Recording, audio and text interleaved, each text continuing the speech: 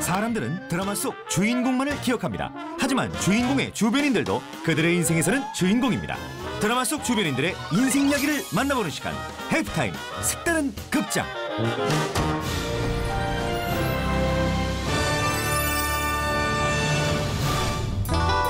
스물다섯 새신랑 우진 씨.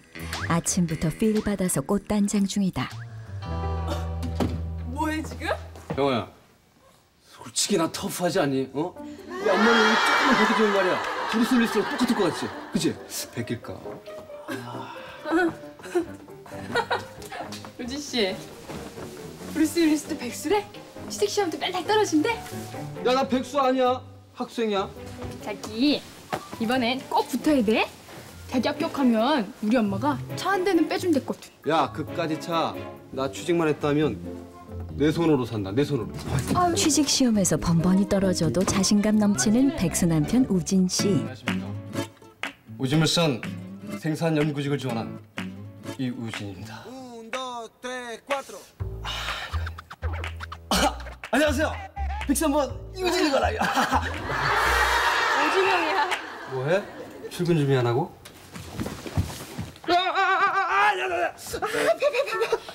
야, 넌 개띠도 아닌데 왜 허건 날 물고 그러냐?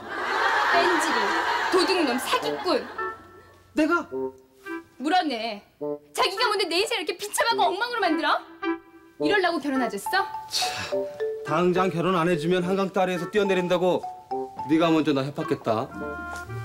그리고 너한테 일찌감치 시켜서 어 한번 피워보지도 못하고 말이야. 피바가 쓴건 바로 나고. 나 임신한 것 같단 말이야. 뭐? 형아 씨 임신 소식에 우진 씨 눈앞이 아찔하다. 그- 그렇게 맛있냐? 환상적이야. 거의 기절할 것 같아. 응. 너 이런 식으로 계속 먹어대다간 우리 집 망하는 거 시간 문제겠다. 강호도 먹고 싶다. 우진 씨, 얼른 돈 벌어서 나 맛있는 거 팍팍 사줘야 돼. 응? 아, 알아, 알았어. 오늘은 취직 시험 합격자 발표가 있는 날. 하늘도 참 무심하시지. 이걸로 여덟 번째 낙방.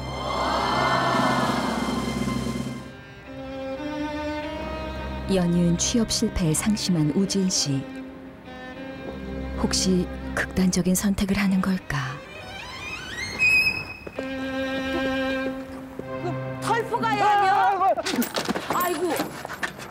아이고 맞구만 털프가이. 할머니 떨어질 뻔했잖아요. 우진 씨가 옥상에 있어요? 그려. 어여 가서 데리고 와. 혹시 잘못된 건 아닐까? 형아 씨 남편 걱정에 피가 마른다. 어디 있는 거야, 우진 씨? 우진 씨 죽은 거 아니지? 우진 씨 미안해. 어? 어디 있는 거야? 형아야. 우진 씨. 그래도 한달음에 달려와준 형아 씨 때문에 우진 씨 아직 살만 난다. 형아야.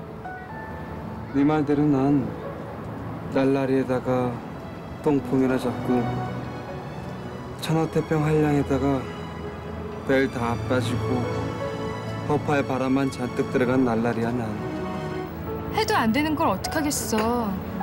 난 자기가 나 모르는 데서 그렇게 애쓰고 노력하고 그것만으로도 되게 고맙다. 가족에 대한 사랑을 깨달은 우진 씨. 앞으로 좋은 남편, 좋은 아빠가 될 수 있을까? 한 달 후. 생계를 위해 생선 장사를 시작한 우진 씨. 일을 마치고 돌아오다가 옆집 식구들을 만났다. 오랜만이다. 아, 이거 하나 먹어요. 먹자, 먹자, 먹자. 고맙다. 응? 응? 왜 그래? 왜, 왜 그래? 어 무슨 냄새? 생선 장사하고 왔어요? 어떻게 아셨어요? 저 생선 장사한 거? 어. 진짜로 생선 장사했어요? 아 나 그냥 옷에서 비린내가 나길래. 큰일 났네. 목에 붙어야 되겠는데. 저 이거 잘 먹겠습니다. 깨들 안녕. 아, 안녕. 고맙습니다. 어, 예. 같이 가요. 어, 저기요. 그 생선 장사 하는 거 비밀로 해야 되죠, 세탁한테? 비밀. 형아 씨 몰래 시작한 생선 장사. 혹시나 들킬까봐 부랴부랴 목욕탕까지 다녀왔다. 아이고 개 아이고 부르겠다 아이고 아 좋다 왜, 왜 그래? 자기 얼굴이 왜 이렇게 반질반질해? 어? 어머 머리도 감았어? 무스까지 발랐네? 아 왜 그래 깔끔한 것도 죄야 자기 대체 뭐 하고 왔어? 돈 벌고 왔다니까 사모님 제비나 한 마리 키워보시죠. 뭐 그런 거 했어? 어? 쏘대지 말고 이 어깨나 좀 살살 좀 주물러봐 비록 남편 마음도 몰라주는 형아 씨에게 구박당할지라도 우진 씨는 요즘 들어 제법 일하는 보람을 느낀다. 야 이거 재밌다 진짜 이거 아저 오늘 오징어 팔다가 좀 남은 게 있어서요 저희 집에 가서 오늘은 장사를 마치고 옆집에 들렀다. 비밀을 지켜주는 옆집 식구들에게 고마운 마음이 참 크다. 엄마 가까이 형한테서 또 붕어 냄새 나요. 아 어떡하죠 오늘따라 생선회장 나르다가 세타에다 쏟아버렸거든요 아, 그럼 저기 저기 세탁 벗어봐요 얼른. 내가 당장 빨아서 아주 깨끗하게 말려줄 테니까. 어? 지금 여기 여기서요? 안녕하세요. 어디 가니 밤에? 약국이에요. 턱부가 형이 피 피로회복제 사오랬어요. 누구? 아참 까르면 안 되는데. 본의 아니게 일이 커졌다. 우진 씨. 어, 진짜 놀랬겠다. 일하네 우진 씨. 우진 씨. 우진 씨. 따라와. 집으로 따라와 당장. 이웃 간의 따뜻한 우정이었는데 괜시리 오해만 샀다. 그 자식이 두 달만 열심히 일하면 일한 만큼 벌 수 있다 그래가지고 그래서 시작한 거야 그래 누가 뭐라 그랬어? 생선 장사 잘했어. 아주 잘했어. 결국 오해를 풀기 위해 형아 씨에게 생선 장사를 시작했다고 털어놓은 우진 씨다. 아이고 이제 큰일 났다 큰일 났어 이제 강아지 새끼 나온다 뭐? 야 우리의 뱃속의 애기가 뭘 보고 배우겠냐 태교 어 태교 우리 애기를 봐서라도 네가 좀 참아줘라 맹모는 자식을 위해서 삼천지교를 했다 그러지 않니 안 그래? 아, 어머님 들어가시죠 아, 들어가시죠 이들의 부부 싸움은 아기의 태교를 위해 급히 종결됐다. 다음 날 우진 씨는 꼭두 새벽부터 눈을 떴다.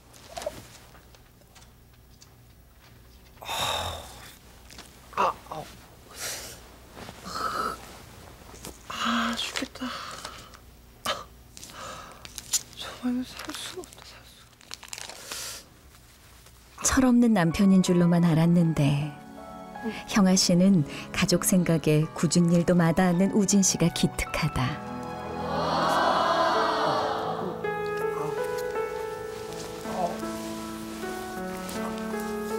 어 어어 어, 어. 깨, 깨, 깼냐? 용케도 잘 견디네.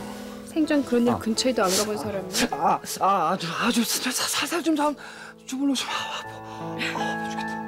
항상 이렇게 일찍 일어났어? 해 뜰려면 아직 한참 멀었는데. 수산시장 가서 물건도 떼야 되고 할 일이 얼마나 많은데 많이 힘들었지? 아니야 하나도 안 힘들어 6개월 후 출산이 임박한 형아 씨 진통이 시작됐다.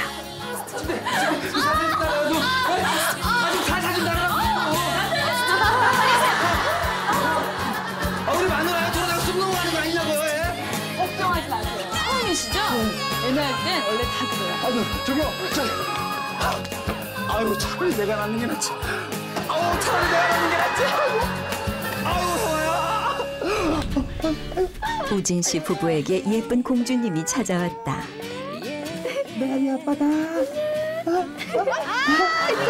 얘가 정말 내 딸 맞아?